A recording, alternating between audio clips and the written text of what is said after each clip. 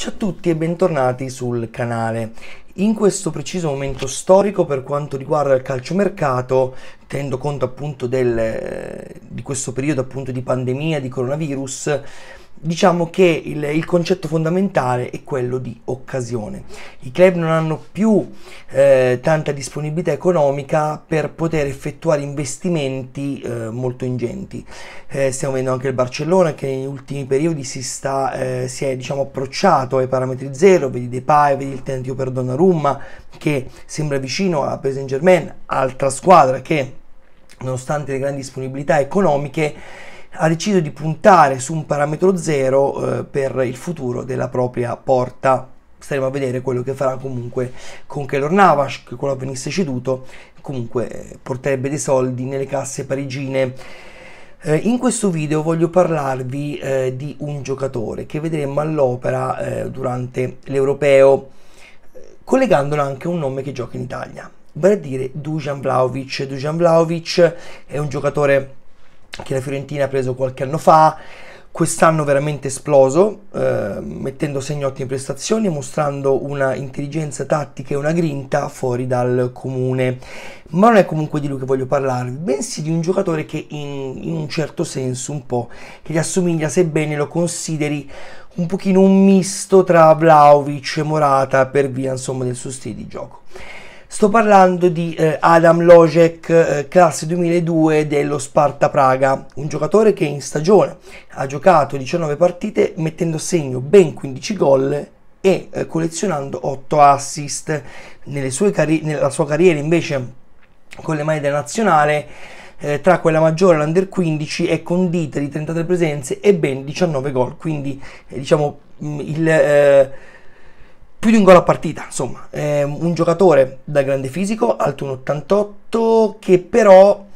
ha un punto di forza che è diciamo questa muscolatura abbastanza lunga, quindi non è un, un, un potente arageco o pachidermico, bensì è molto mobile, eh, un, con un baricentro comunque regolare, non ha il baricentro alto, quindi lo rende anche eh, gli conferisce insomma una progressione molto più reattiva, abile nell'uno contro uno, destro di piede, sebbene comunque sappia usare entrambi ehm, in, in, modo eh, ottimo. Diciamo che è il classico attaccante che può essere molto funzionale sia se, se si gioca in un attacco a 2 che in un attacco a 3, sia come punta centrale che come esterno a piede invertito o comunque magari sul lato del piede forte um, un giocatore che è molto abile sia appunto nelle vesti di assist, l'abbiamo visto più volte con lo Sparta Praga, allargarsi sulla destra, fornendo cross o magari accentrandosi, arretrando il proprio centro d'azione, aspettando l'inserimento della mezzala e eh, per poi appunto dettare il passaggio. Questa è una cosa molto importante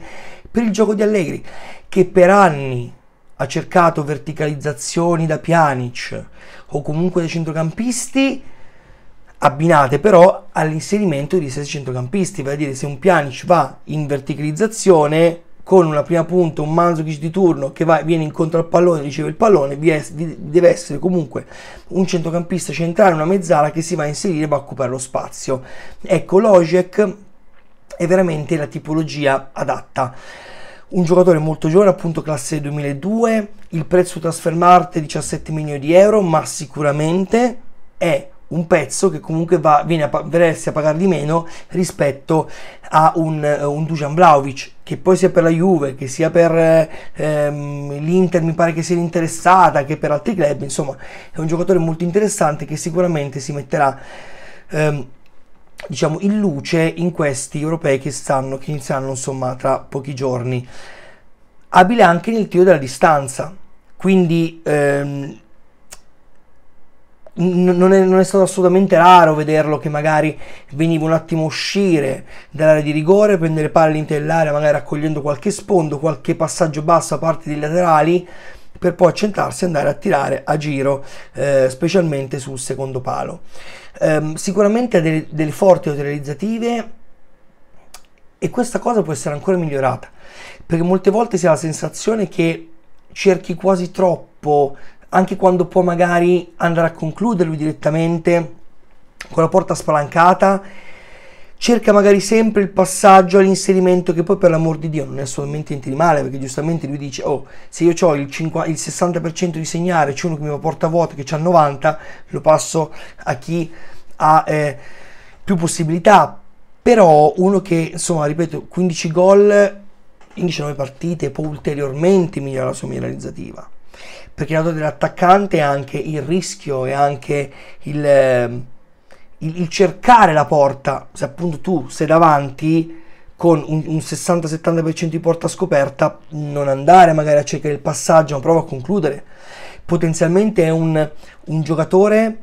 che eh, avrebbe potuto segnare tranquillamente 19, 19, 19 gol in 19 partite o 20 gol in 19 partite, quindi può ulteriormente migliorare.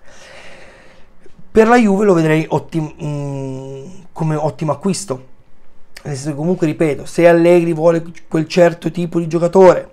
è ancora plasmabile appunto avendo solo 19 anni, lo prendi, lo metti lì, lo sfrutti un pochino per eh, il, le, le, sue doti diciamo di, di movimento nella, nella, parte offensiva del campo, però eh, se vuole Allegri vuole fare quel gioco, vuole un ariete di rigore, Lozek, anzi scusate, Lojek è veramente un profilo uh, adattissimo anche perché mentre lui riceve palla magari ama ricevere palla più su, sulla tre quarti campo e poi magari smistare il gioco più eh, per magari su, svilupparlo sulla fascia più verso il centro Vla, Vlaovic quante volte l'abbiamo visto rientrare addirittura nella metacampo ricevere palla smistare e poi farsi quei eh, 50 metri di corsa. Mm, ripeto Lojek è un giocatore secondo me veramente molto interessante, appetibile sia da Juventus che anche per altre squadre. Io parlo di Juve perché? Perché, ripeto, un giocatore che secondo me meno di 20-25 milioni non lo vai a pagare e chi in Italia ha la possibilità di spendere 25 milioni ma fossero anche rateizzati in dorate 12 milioni e mezzo magari non tutte non lo vedrei da Lazio, anche perché Lazio ha fatto l'investimento con Murici, eh, quindi magari ecco più da Juventus o più da Inter, perché ora siamo nell'era che devi spendere poco e poi far crescere, poi puntare su quei giocatori. Vi ricordo Vidal, Vidal la Juve lo prese, se non mi ricordo male, la prima annata di Conte e lo pagò veramente bruscolini perché lo pagò tipo 10 milioni di euro dalla Bayer Leverkusen e poi è diventato il Vidal. La Juve di all'epoca non è la Juve di ora, va benissimo, però qualche rischio va preso. Ehm, perché altrimenti, ripeto, non si è più nelle condizioni economiche di prendersi il Vlaovic di turno che la Fiorentina magari all'estero darebbe per 40, te Juventus te ne va a chiedere 50, 60 oppure magari 60 più giocatori. Magari non è detto che la dirigenza eh, della Fiorentina sia disponibile a fare un'altra operazione alla Chiesa, quindi un prestito biennale con riscatto obbligatorio, possono dire oh ragazzi a me servono soldini, nell'epoca Covid vi voglio cash, quindi è facile che Vlaovic mi rimanga a Firenze. E in questo caso Adam Lojek, classe 2002 dello Sparta Praga, è veramente un qualcosa di ottimale.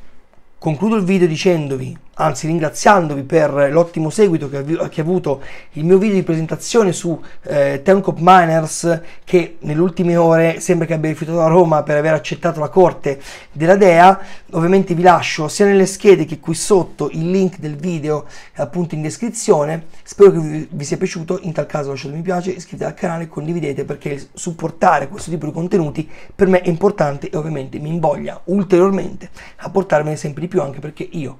anzi a me, pare di giocatori, piace veramente tantissimo. Vi mando un abbraccione e ci vediamo al prossimo video.